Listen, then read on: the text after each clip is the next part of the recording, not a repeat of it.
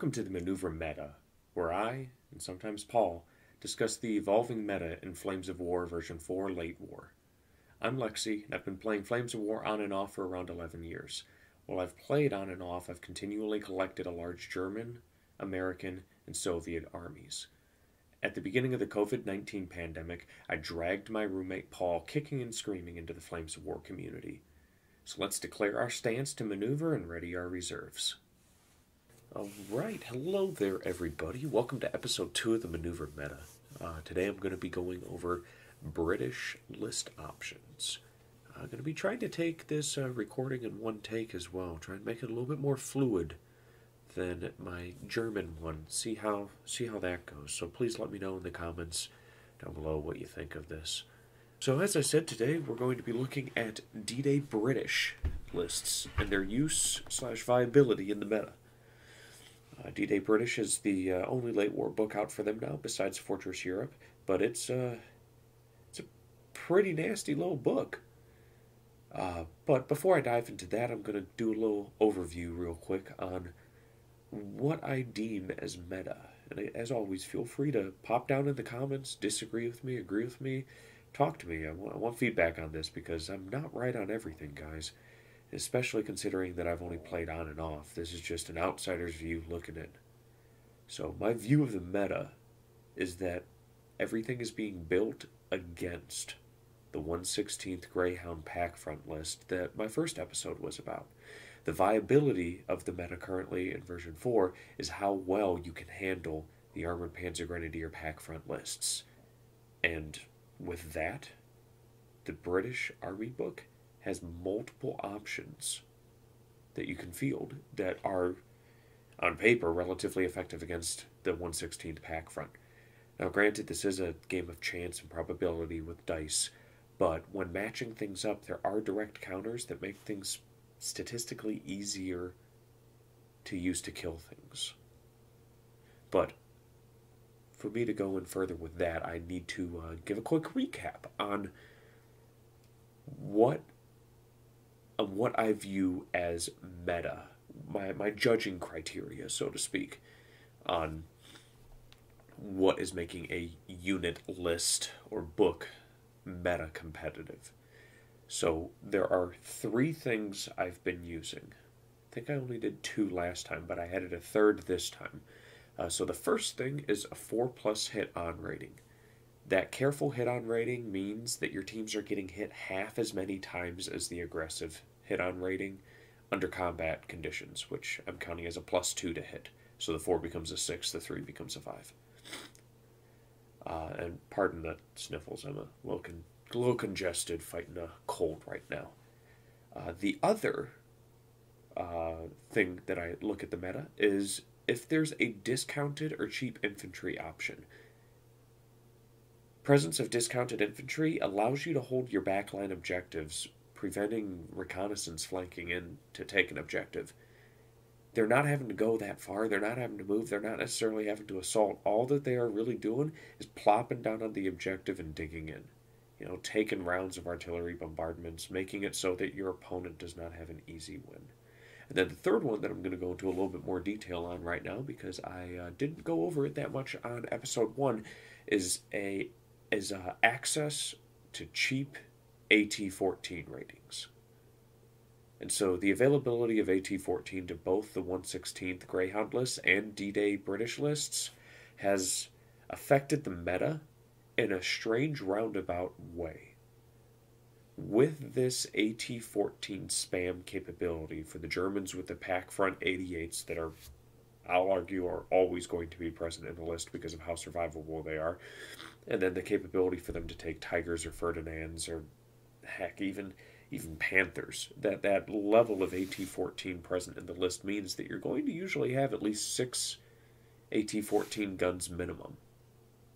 And then the British, I'll go into a little bit of detailing on. They have the capability to put some AT-14 in the list pretty cheap as well to get eight shots or even 16 shots. And what that does to the meta environment is it's made medium tanks not that good they're a little bit overpriced for what they do. And so what ends up happening is is medium tanks fall out of the meta and you start seeing light tanks and armored cars cropping in. So the reasoning behind this is the average front armor for a medium tank in late war is 6. AT 14 means they don't get a save even at long range. Gun rolls to hit, then rolls its 3, three plus firepower. Uh, this puts players and list builders into a situation where you end up asking yourself, why am I spending 12 points for a platoon of 3 Shermans that get no save against AT 14 when I can spend roughly the same amount of points for a platoon of 5 Stuarts? So you're getting more bodies on the table. Yes, the main gun isn't as good, but the bodies on the table is more impactful than the 3 Shermans. And then the other thing that AT 14, especially an abundance of it, does, and why you need to run it, is you have the capability to deal with heavy armor. The majority of heavy armor comes in somewhere between front armor 8 and front armor 10. AT 14 still deals a solid chance at doing something to them, especially when you're able to focus fire from multiple units. For example, one of the lists I've been toying around with has three Tigers and four Pak Fronts. If all of those are on the table, that's going to be 14 AT 14 shots. That's going to mess up even a unit of three Churchills. And granted, with reserves, the Tigers aren't always going to be on the table at the same time as the 88s, but even eight shots against a platoon of three Churchills at AT 14, that's some withering fire for them to have to hold. And then one of the other things in terms of a reactive meta in response to the Pak Front is meta lists have to be bringing a way to deal with Pak Front be it brutal for the reroll, auto firepower checks, something along those lines that makes it so that they can deal with Pak Front. There's no denying it. Pak Front is extremely powerful, and odds are if you're running into a German player in the tournament setting, you're gonna run into Pak Front 88s. There, there is no reason for a German player to not be running those. The only downside I can think of to Pak Front is that they cannot hold an objective or contest an objective. But the capability for them to be completely split up and then just the pure survivability of the re-rolling the firepowers and always being concealed is just it is so good, especially for a gun like an 88 with that 40 inch range. So those are the things that I look at when considering if a formation, unit, book, whatever it is I'm looking at when list building to deem if it's going to be meta competitive. Com, uh, competitive. Until 116th gets dealt with, I'm going to continue the argument that the meta is reactive. Your list needs to be able to deal with 116th. If it can't deal with 116th, you're you're gonna not have a very good time at a tournament unless unless you're just going to have fun. Which, of course, if you're going to have fun, that's perfectly fine. But if you're looking at the competitive edge to try and bring a list to a table that gives you a better hand to play against an opponent with, you're going to need some way to deal with 116th. So I'll be looking at the British forces out of D-Day British. It's a little bit difficult for me because I don't play British. A uh, acquaintance of mine plays British, and Paul has been looking at British as an army to start up. And uh, all the experience I really have with them is looking at the stats and comparing it to relative things in my head with armies that I've played. So the neat thing with the D-Day British book when I was going through it is they don't have a standout formation or card like 116th Pak Front combo. The thing with the British that makes them meta competitive in my mind is their support options. They are extremely flexible in list building. Long term meta compatibility for British is looking really good because there isn't one specific instance in the British of, yes, this is overpowered. We need to do something about this. We need to nerf this. We need to do something about it. There isn't really much Battlefront can do to D Day British to knock them down a tier because while nothing is absolutely stand out, there's nothing really underwhelming either. So I'm going to be looking at a couple of uh, formations here, the two formations of that book that stood out to me were the Desert Rats infantry and the Churchill armored uh, formation. Blanking on the exact terminology, please forgive me. Uh, so, starting with the Desert Rat infantry, to make a uh, long story short, compiling it in really quick, and how they fit into the meta. They're discounted, and they have the four plus careful rating. That that makes it so that you can plop them on your objectives, taking them as a formation, even if it's bare minimum bare minimum of the two black box platoons in the HQ. Then also adds that layer of uh, table security and not being formation broke if you lose your attacking force. But going into a little bit further detail as I dove into the book, uh, they're reluctant, which is iffy. But that's really only affecting their last stand and follow me rolls because their counterattack is a 4 plus. So while not fantastic, it's not that bad either. The reluctant last stand is going to be a little bit obnoxious to deal with as if you're playing British, but similar to the 116th card, a 5 plus last stand for infantry is not that much of a downside. The other big negative with them is they only have the single Piat team, which, unlike a Panzerfaust, is its own stand. So once that gets targeted and taken out, heavy armor can just roll into this infantry, and then it turns into a game of uh, whoever fails their counterattack first.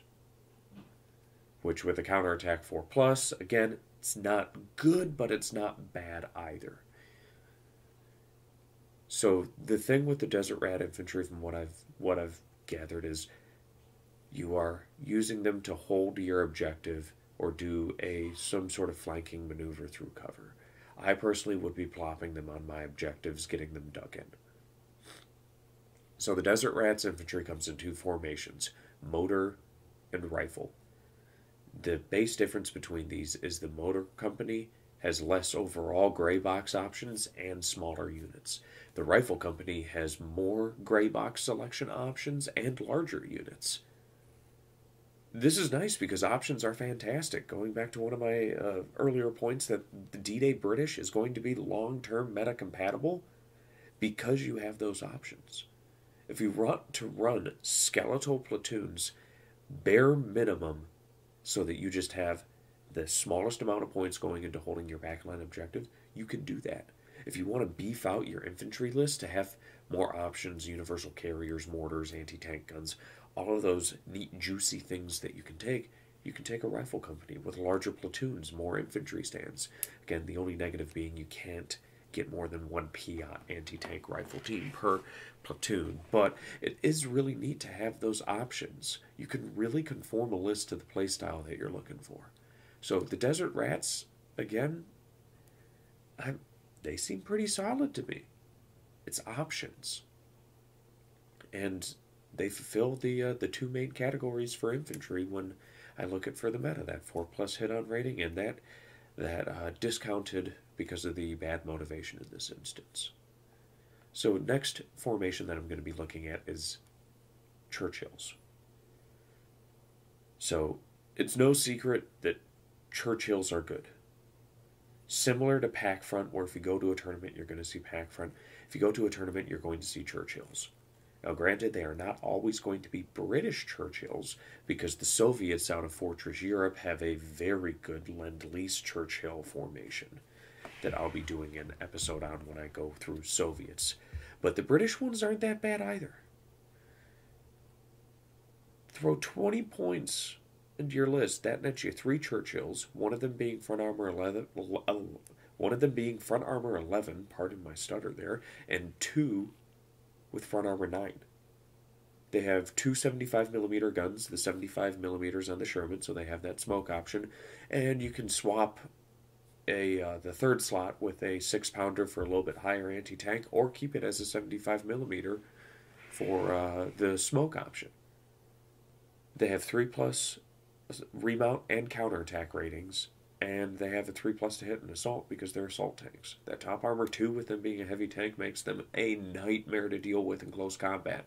You focus down your opponent's anti-tank sections and then you just roll the Churchills forward. And so that is one of the negatives with the Churchills. They only have that tactical 8. They move at infantry speed, which is kind of nice if you're trying to work them with some motor infantry or some Desert Rats infantry, but you can't really pull the quick flanking maneuvers some armies some other armies are capable of with these.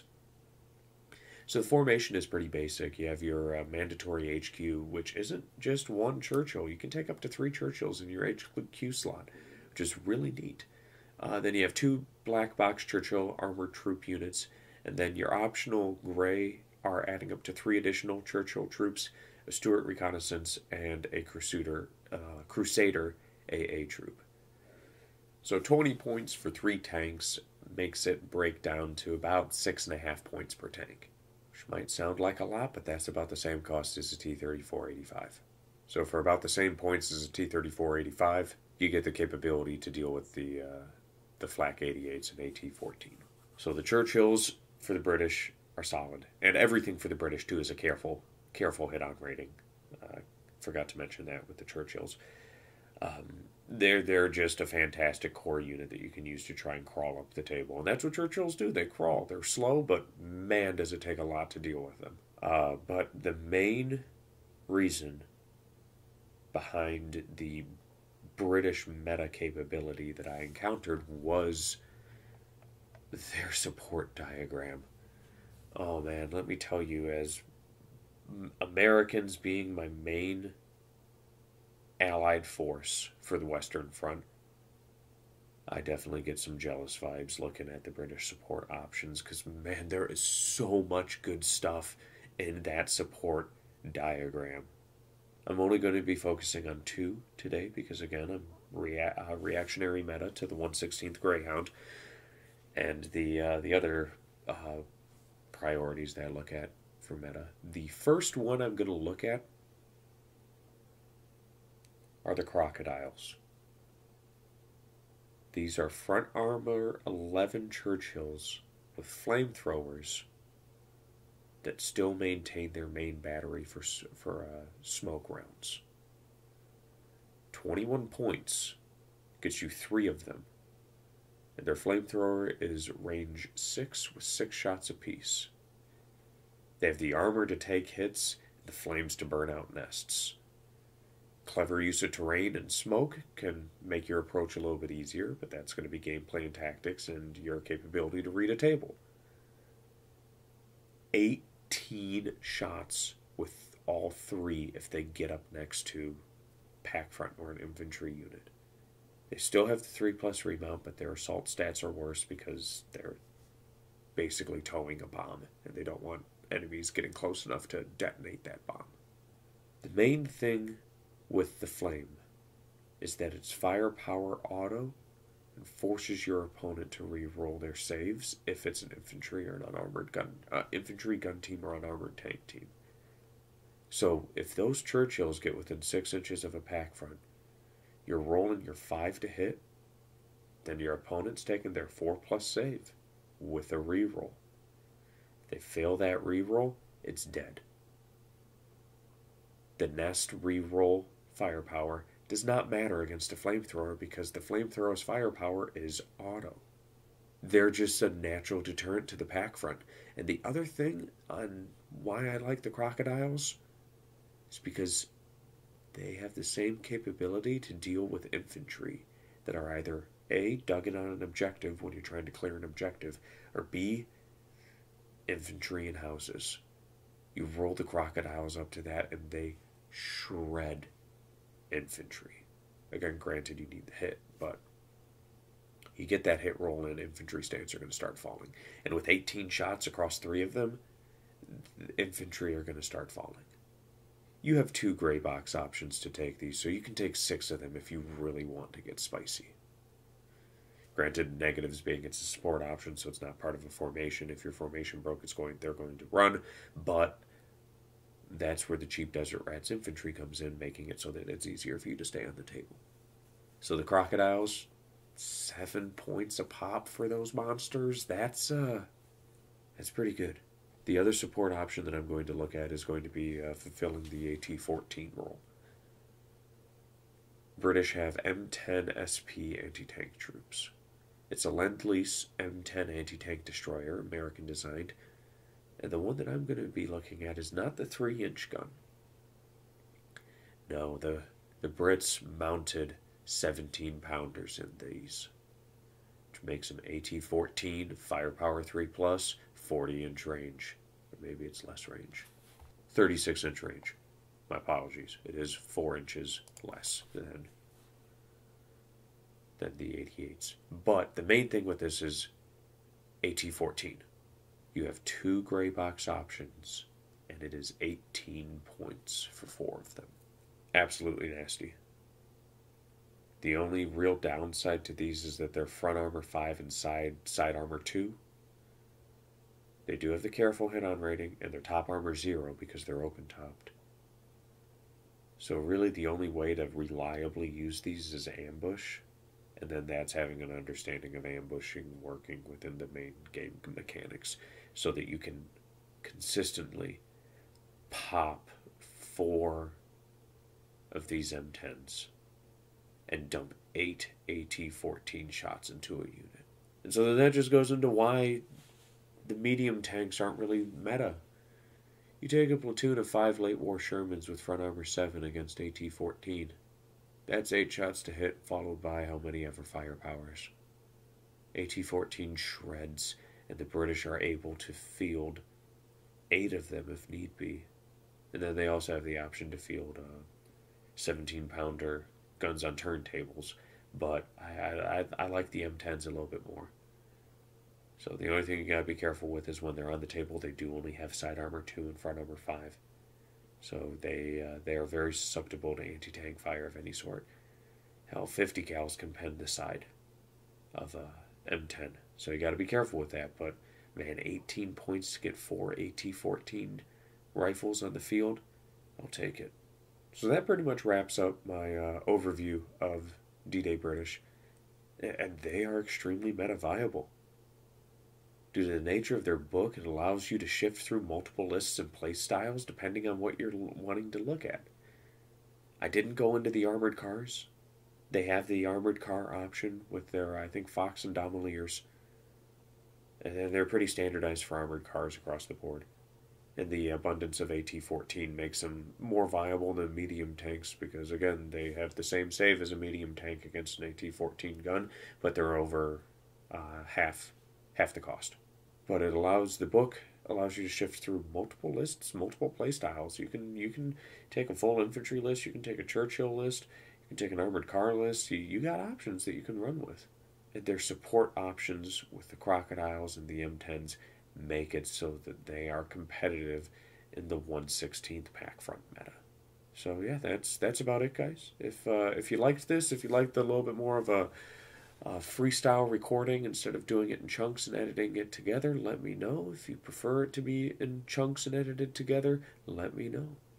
Always love hearing from you guys. Always love the feedback. I believe our next book that we're going to go through is Bagration Soviet. Or maybe, no, I think I'll do Bulge American next, actually, because I've really been enjoying that. And I've been uh, playing a couple games with Paul, trying out different things with that to look at uh, what we're what we got capable, what that book's capable of. Uh, but yeah, my Patreon is still up and running. Be sure to check out my link tree in the uh, in the description of the video below. Uh, it's got access to gives you the links to all my social medias. I've had a recent explosion on my TikTok with a bunch of new followers coming in, so be sure to check that out if you love uh, Flames of War, Team Yankee, World War II history, and uh, Warhammer 40,000 and such. I'm a, I'm, a, I'm a bit of a GW fanboy when it comes to stuff like that, so I got that content on there as well. So uh, I want to give a big shout out though to my patrons. I want to thank each of you personally for uh, making this possible. Sky, I Like Tanks 24, Polly One Walnuts, and Carter was here. Thank you guys. Thank you so much. Your support means the world to me, and I can't wait to keep making content moving forward so I can keep doing stuff like this because, man, do I love it. I really hope you guys are enjoying this as much as I do. But until next time, thank you for listening to the Maneuver Meta.